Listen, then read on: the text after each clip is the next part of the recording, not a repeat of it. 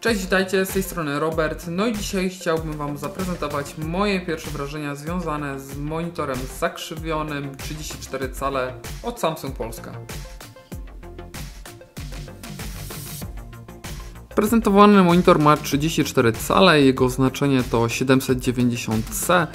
I z tych najważniejszych rzeczy, o których warto wiedzieć, to proporcje ekranu 21 do 9, e, czyli mamy tu ekran panoramiczny, dzięki któremu możemy oglądać, e, widzieć więcej albo korzystać z wielu aplikacji czy tam z wielu ekranów e, jednocześnie.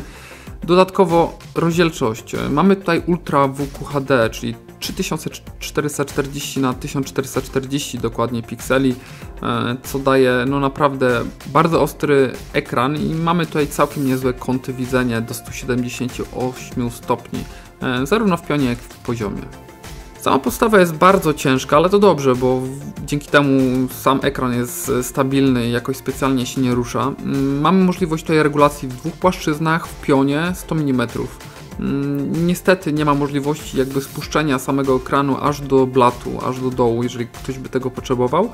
No i druga sprawa to nachylenie tutaj do 20 stopni, więc myślę, że też jak najbardziej ok.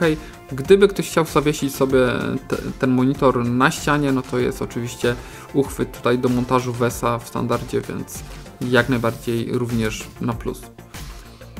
Długo zastanawiałem się, czy zakrzywienie ekranu będzie tutaj bardziej pomagało, czy przeszkadzało w pracy, bo jeżeli chodzi o gry, to wiadomo, że ten niby otaczający nas e, ekran, no tak naprawdę daje takie wrażenie troszeczkę, jakbyśmy bardziej wnikali w ten świat, zarówno w filmach, czy w grach właśnie. W przypadku pracy, mm, zarówno jeżeli chodzi o pisanie tekstu, czy, czy renderowanie tutaj filmów, bo, bo to pod tym względem głównie, nie widzę jakiegoś dyskomfortu, ale nie widzę też jakichś większych plusów ze względu na to, że mamy zakrzywiony tutaj ekran. Na pewno dużym, dużym plusem jest to, że jest bardzo szeroki. Dzięki temu te ścieżki, które mamy, widać, że one są zakrzywione delikatnie, ale dzięki temu jest możliwość jakby umieszczania wielu elementów, yy, przybliżania tego ekranu. Mamy wtedy naprawdę spore możliwości, jeżeli chodzi o precyzję ustawiania poszczególnych elementów. Kontrast w tym monitorze jest naprawdę bardzo dobry, 3000 do 1, wystarczająca i jasna matryca, biorąc pod uwagę, że ja nawet sobie ją trochę skręciłem, bo był dla mnie zbyt jasny. E, dodatkowo ciekawą technologią jest tutaj Flicker Free, która ma chronić oczy i zapobiegać migotaniu ekranu w różnych warunkach. E, no, ja nie zauważyłem tego efektu w sensie, żeby, nie wiem, oczy mnie bolały czy coś takiego, e, ale na również na innych matrycach, do których do tej pory pracowałem, nie miałem takiego efektu, więc nie widzę tutaj jakiejś większej przewagi.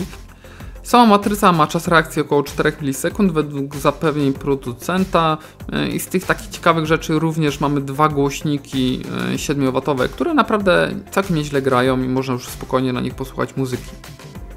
Same ustawienia realizowane są przez przycisk, który chyba dobrze znacie z telewizorów. Mamy tutaj możliwość przełączania się e, w lewo, w prawo, w górę, w dół. W lewo, w prawo mamy głośność, góra, dół, tam są kontrast, jasność i Mm, kilka innych dodatkowych rzeczy. Wejście głębiej w menu owocuje w tym, że mamy sporo ustawień odnośnie dźwięku, obrazu, mm, funkcję Picture in Picture, czyli czy Picture by Picture, więc to wszystko jest możliwe. Możliwość podłączenia kilku urządzeń naraz. Tego jest naprawdę sporo, możecie to teraz zobaczyć. Najgorsze jest jednak to, że mam świadomość, że jak będę musiał się pożegnać z tym monitorem, to będzie to bardzo bolało, bo człowiek rzeczywiście szybko przyzwyczaja się do dobrego. E, I nie mówię tutaj, jeżeli chodzi o klonowanie obrazu, tylko bardziej o rozszerzanie. Mm, pewne elementy mam odpalone bezpośrednio na laptopie, część rzeczy mm, już na monitorze. No jest on naprawdę bardzo szeroki, mnie ułatwia pracę zdecydowanie. Dodatkowo wysoka rozdzielczość nie męczy oczu e, i robi naprawdę świetne wrażenie, bo, bo to trzeba mu przyznać. No, póki co jestem bardzo zadowolony, nie zauważyłem jakichś większych minusów, biorąc pod uwagę sam monitor. E, jeżeli coś znajdę, to oczywiście dam znać.